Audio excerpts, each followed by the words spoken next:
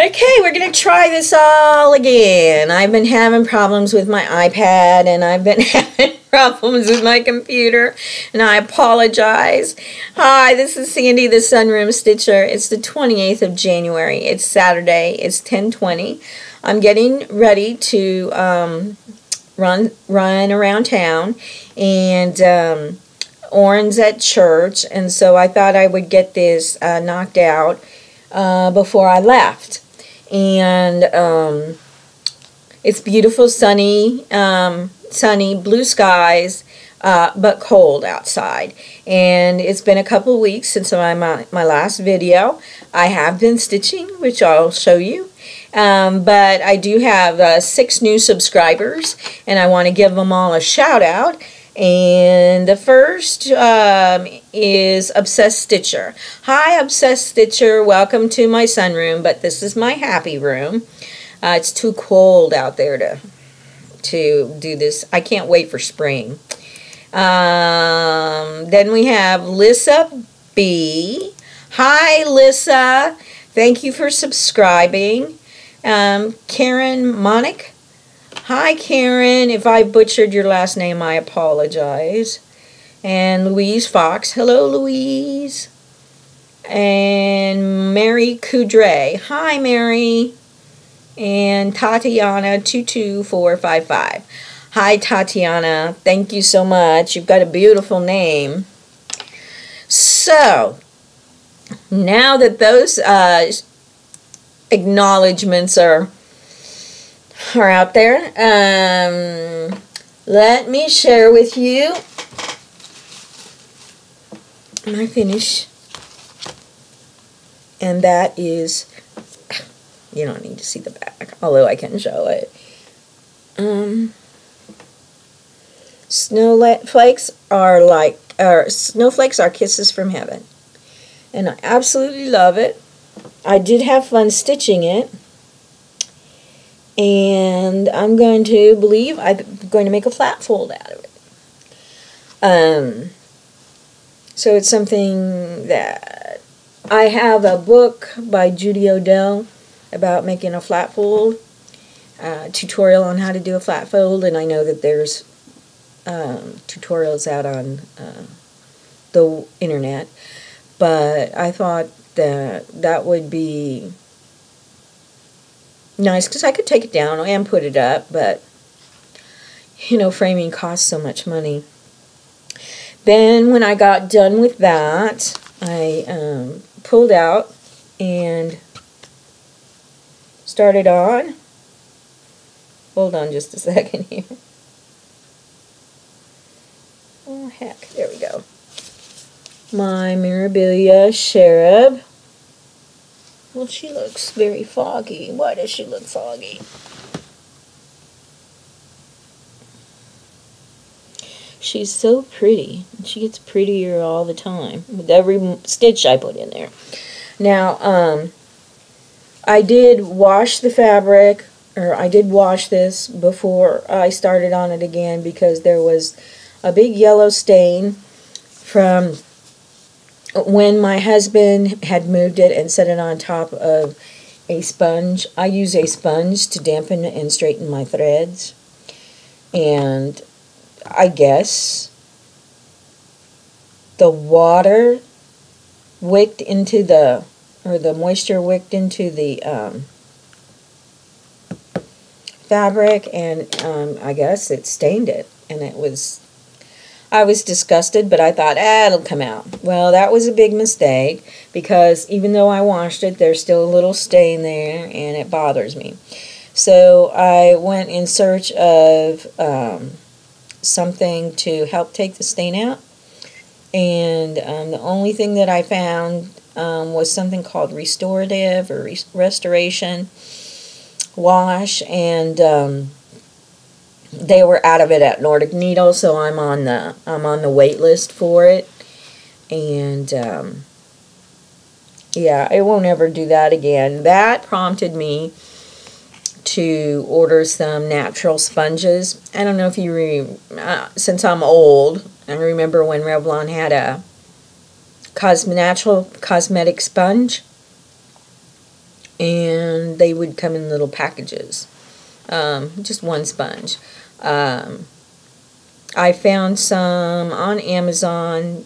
Get 12 of them for $10 and they're like one to one and a half inches in diameter and that's plenty big plenty big so those were supposed to come yesterday and they didn't so i'm hoping that they'll come today but i've learned my lesson if i get a stain on my fabric from now on i'm going to wash my fabric right away now i'm going to wait until the end to do her beading especially if um, since i want to do that uh, wash on her to get that stain out. So I'm having fun working on her. And um, the next thing that I'm uh, I want to do is pick up my day nymph, my Mirabilia day nymph, when I get done with my cherub. Um, and but before I do that, I want to stitch a Christmas ornament. I promised Della that I would stitch her a Christmas ornament for each of her grandchildren that she could hang on her tree. And uh, on the front, of course, would be the design. On, on the back, I wanted to stitch uh, each of her grandchildren's names. And that way, someday she may want to give those away to whoever's name's on it. So, um, but I figured the way I stitch, mm, something that might only take a day will take me a week. but that's okay. Um, also, I um, saw a tutorial online on how to make a pincushion out of a teacup. So on my last visit to the thrift shop, I found um, several teacups, but one in particular I liked. It had some ugly plastic flowers in it, but it was uh, like pink, or not pink, blue, or uh, purple posies, and it's just a little tiny, tiny one um, with a saucer. So, um, I got it and I got uh, some inexpensive ones. They were like 50 cents a piece or something. I thought I could make these um, as uh, gifts. So, um, that is on my agenda. I have so many plans and not as much energy. not the energy I need to do everything. And um, I did find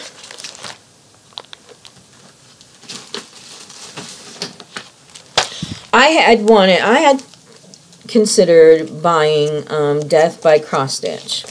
And then I figured out how much floss I would need, and the floss that I wanted to use would be like $200. So, well, I just could not do that. I, even if I was working, I couldn't do that. I, I just, that's a lot of money. So I thought, well, I'll go, I know I have Long Dog's um, Ten Commandments. So I did find it downstairs. It is much smaller, and I can still do it in the in the um, Gentle Arts creek bed, and um, I'll figure out how um, how much plus I need, it'll be, let's see, the design will be like 15 by 18 and a half, so that's not too bad. And I'm going to do it all in one color. And on the back of this chart, it tells you the length that you need. So I was just going to add up the lengths and then uh, figure out I don't know if those are meters or I'll have to um, contact Julia and figure it out. But anyways, yeah, I'm just going to do it in one color rather than all of these colors. So, excited about that one.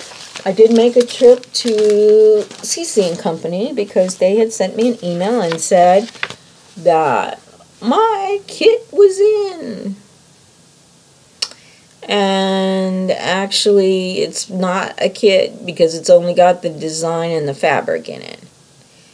Um, but it, oh, it, and it does have the um,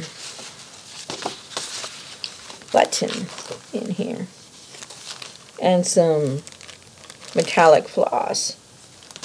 But there's a coupon in here. When you finish it, you take it up there and they will bring this coupon in with your finished cross stitch and receive a free finishing as a stand-up. So, but I think she's really cute. Rosie and me, which Rosie is um, the name of a Scotty dog.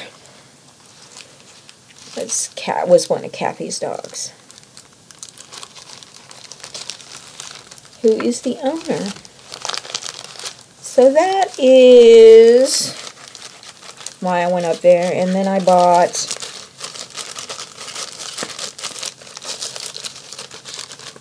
Yeah, that would look like me in a bikini, huh? maybe not so attractive as that.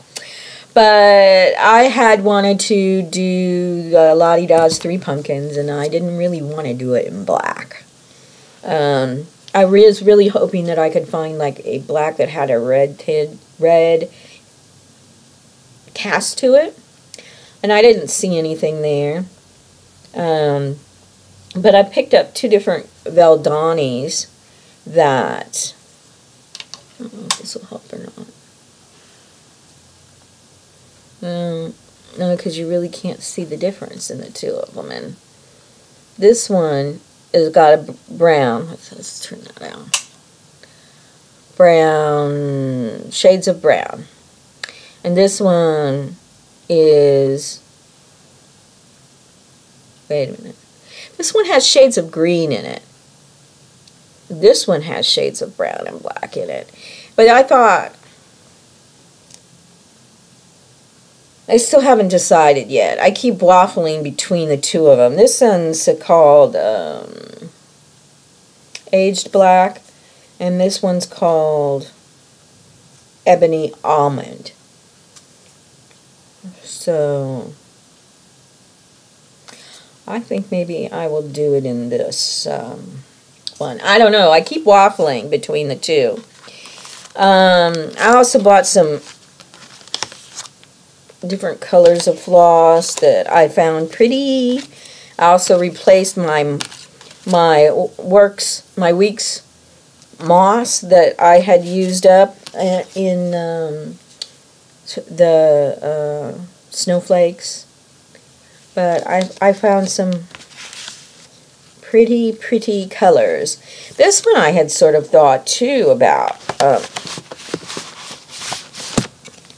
for the uh, pumpkin, and it's called Mermaid Fin, and it's by Crescent Colors. I guess it's not Crescent Colors anymore, but it's a deep blue. You can see it there, isn't that pretty?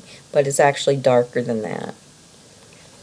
But then I thought for a pumpkin, I don't know. So I got those, all those pretty colors. And then I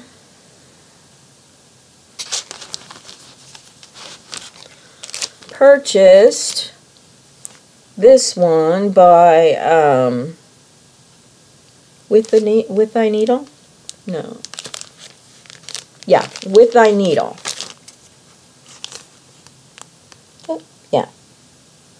I love that.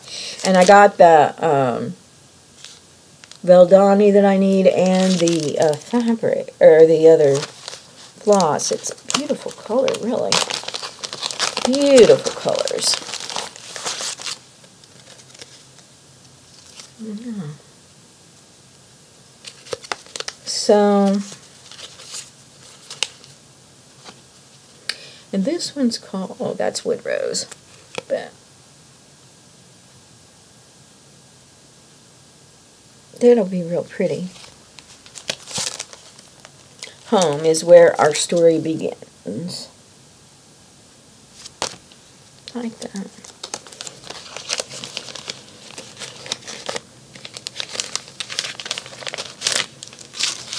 I also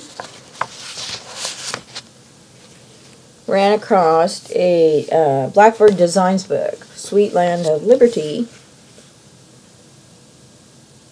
I like that.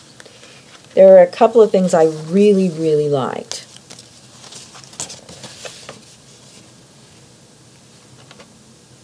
Hmm.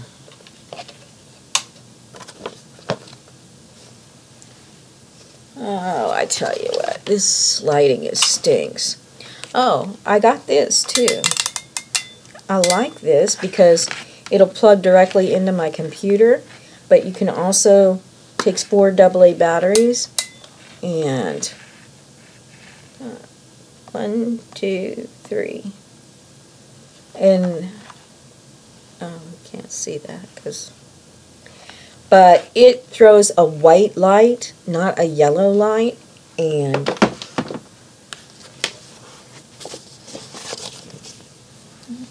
so help or not, help or hurt. Oh. Anyways, I really like this. And the bird looks striped. But I love, love, love the colors. And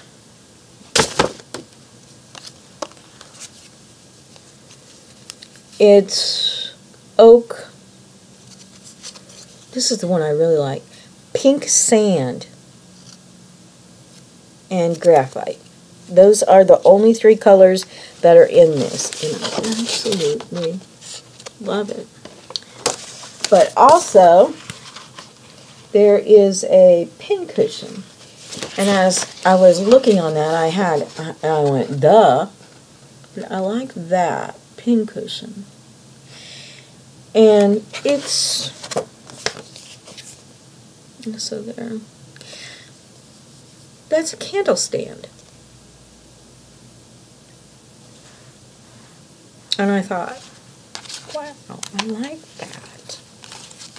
So I got the book for two of those designs. There's other designs in there, but those are my favorites.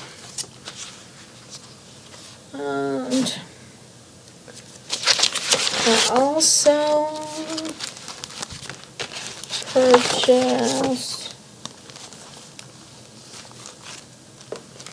the tavern signs and I wanted to stitch this one up here. But instead of using um, I wanted to use pinks. Because you know pink is my favorite color. And my second favorite color. And then this I ordered uh, from uh, Sandra Sullivan's um, Etsy uh, online Etsy shop. This one, I love this. To stitch is bliss. I love that. And then I ordered this one. Family makes me happy, friends make me happy, or stitching makes me happy. I love those hearts. So, I also joined the Early Stitchers Clubs by the Primitive Hare. And my, um, I should be getting a package from her. Let's see here.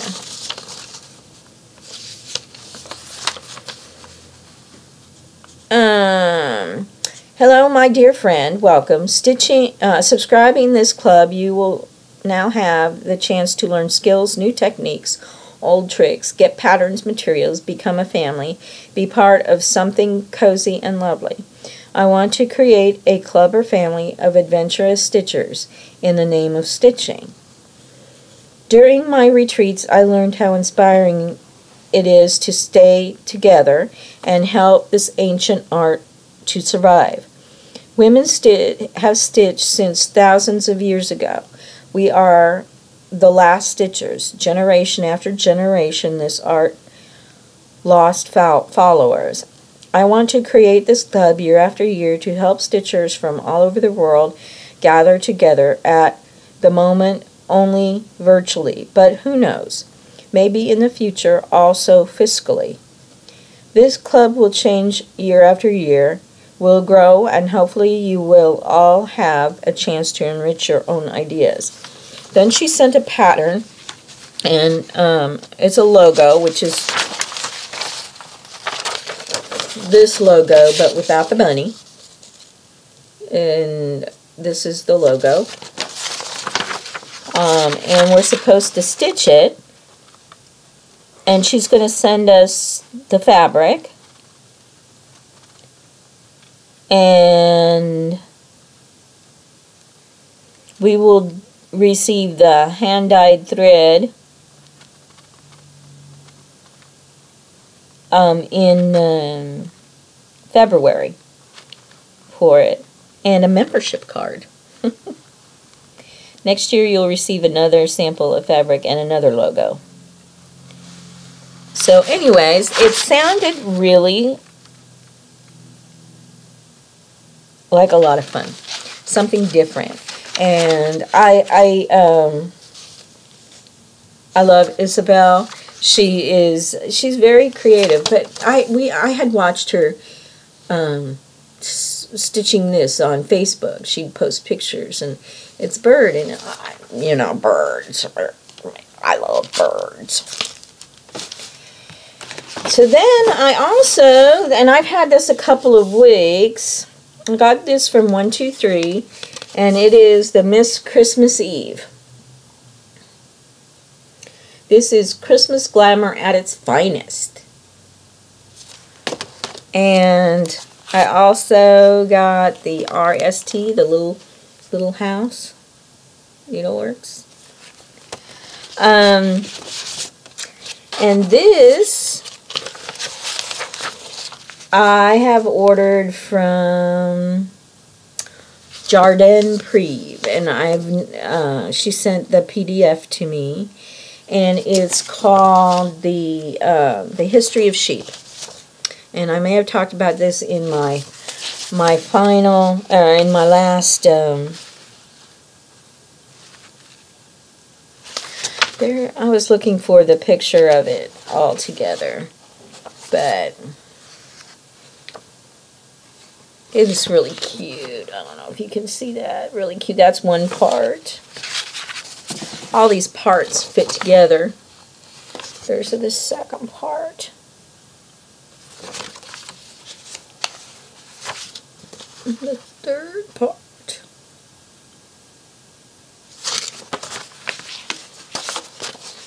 And the fourth part. Cute. Sheepies. So, um, anyway,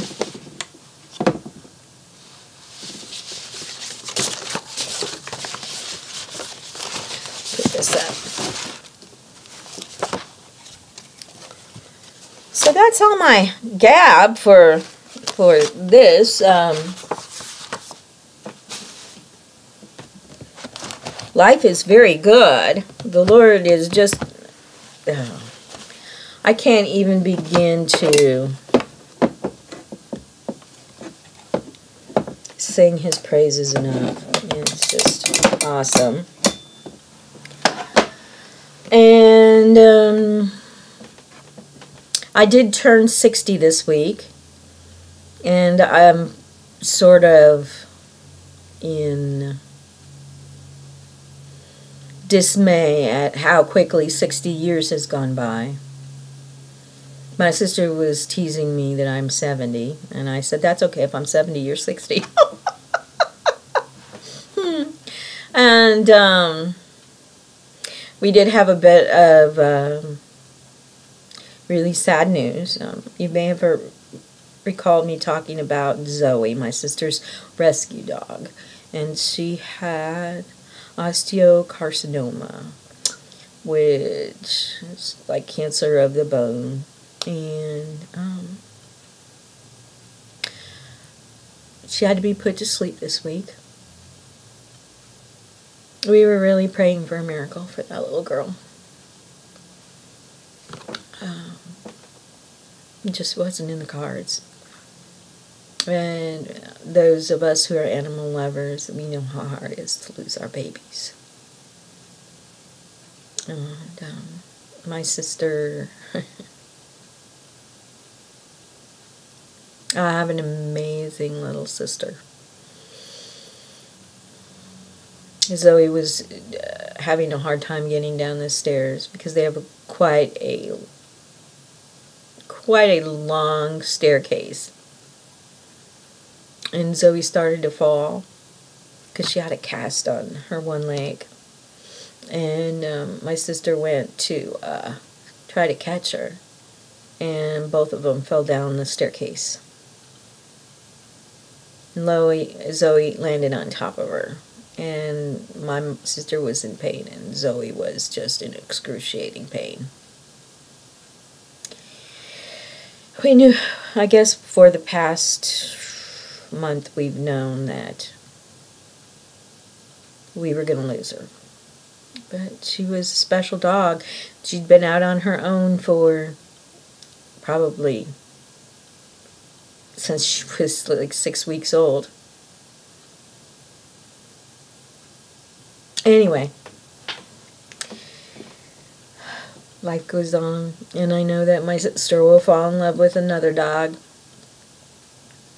But Zoe was special. She was a good girl.